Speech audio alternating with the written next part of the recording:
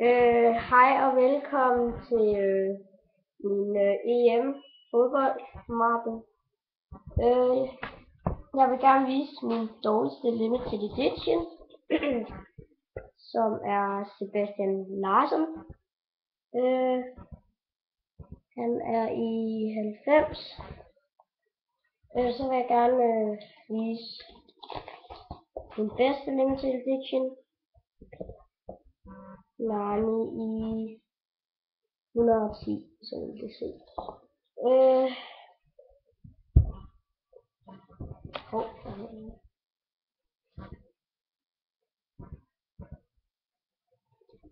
øh, ja, jeg viser jer lige den.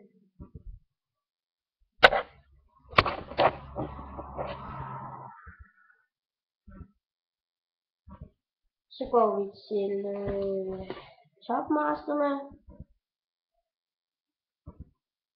Der har vi Philip Lam og Iker Casillas og Arne Robben.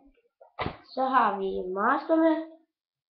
André Arshavin, David Villa og Robin Van Persie. Så er fansfavoritterne.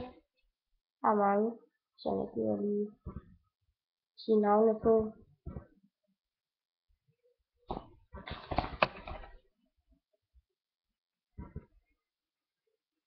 Så går vi over til goalstopperne. Der har vi øh, Gionel Buffon fra Italien, Raul Patricio øh, fra Portugal og André Isaksson fra Sverige. Og så går vi til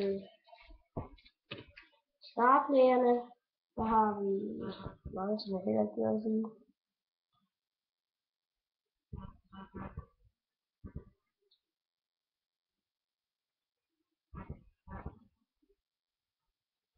Så og så til sidst har vi den dårligste Racing Star.